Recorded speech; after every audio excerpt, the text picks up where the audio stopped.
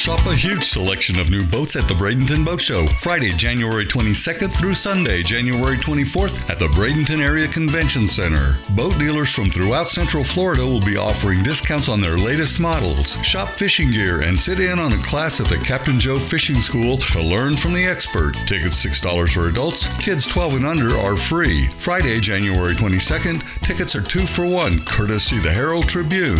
Visit BradentonBoatShow.com.